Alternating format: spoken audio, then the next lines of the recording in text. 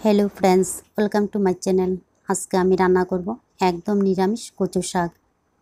এইভাবে নিরামিষ কচু শাক রান্না করে গরম গরম ভাতের সঙ্গে খেয়ে দেখবেন ভালো লাগে। তাহলে চলুন দেখে নিই কীভাবে আমি নিরামিষ কচু শাক রান্না করব। নিরামিষ কচু শাক রান্না করার জন্য এইখানে আমি কচুগুলিকে ছিলে তারপর কেটে ভালোভাবে ধুয়ে নিয়েছি। এরপর এর মধ্যে দিয়ে দিলাম দুই কাপের মতো জল আর এক চা চামচ লবণ। এখন আমি কচুগুলিকে সিদ্ধ করে নেব। যতক্ষণ সিদ্ধ হতে সময় লাগে, ততক্ষণ। প্রায় দশ থেকে বারো মিনিট পর ফিরে আসলাম। দেখুন, কচুগুলি খুব সুন্দর সিদ্ধ হয়ে গেছে। তবে কচু সিদ্ধ হতে সময় লাগে না, একদম কম সময় হয়ে যায়। এখন আমি এইগুলিকে নামিয়ে জলটা জড়িয়ে নেব। আমি একটা ছিদ্রযুক্ত থালার মধ্যে সিদ্ধ করে রাখা কচুগুলিকে দিয়ে এইভাবে চেপে জলটা বের করে নিচ্ছি। আপনারা আপনাদের সুবিধা মতো জলটাকে এইভাবে বের করে নেবেন। এইভাবে চেপে জলটা বের করে নিলে রান্না করতে সুবিধে হবে। এরপর আমি কচু শাক রান্না করব। তার জন্য একটা ফ্রাই প্যানের মধ্যে সর্ষের তেল গরম করে নিয়ে এর মধ্যে দুইটা শুকনা লঙ্কা, একটা তেজপাতা আর সামান্য একটু পাঁচফোড়ন দিয়ে এগুলিকে হালকা ব্রাউন কালার করে নেড়ে চেড়ে নেওয়ার পর এবারে এর মধ্যে দিয়ে দেব সিদ্ধ করে রাখা কচু শাক। এখন এইগুলিকে একটু মিশিয়ে নিতে হবে। তারপর এর মধ্যে দিয়ে দেব চার থেকে পাঁচটা কাঁচা লঙ্কা,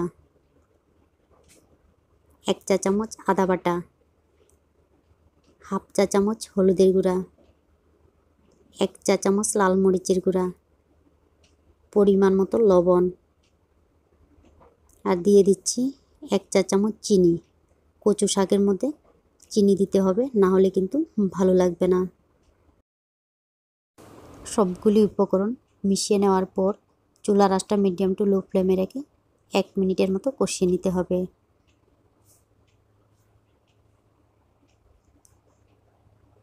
প্রায় এক মিনিটের মতো এইগুলিকে নেড়ে চেড়ে কষিয়ে নেওয়ার পর এর থেকে কাঁচা লঙ্কা আর শুকনো লঙ্কাগুলিকে এইভাবে আলাদা করে নিতে হবে।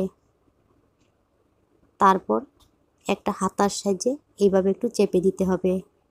এইভাবে চেপে দিলে কচু শাকগুলি আর একটু নরম হয়ে যাবে।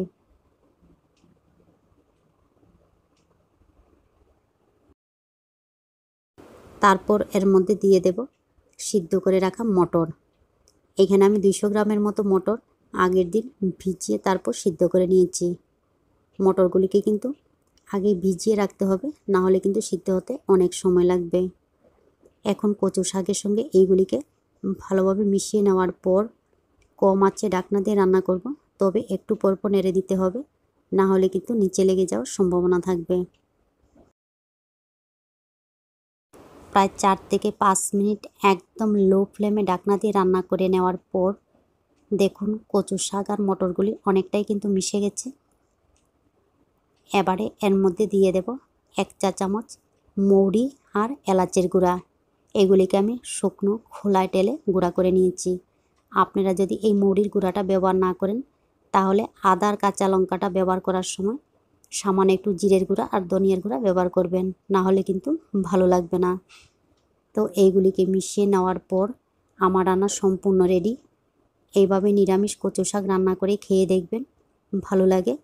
আর ভালো লাগলে অবশ্যই লাইক শেয়ার এবং সাবস্ক্রাইব করবেন। আপনারা ভালো থাকবেন, সুস্থ থাকবেন। আর আমার নিত্য নতুন ভিডিও দেখবেন।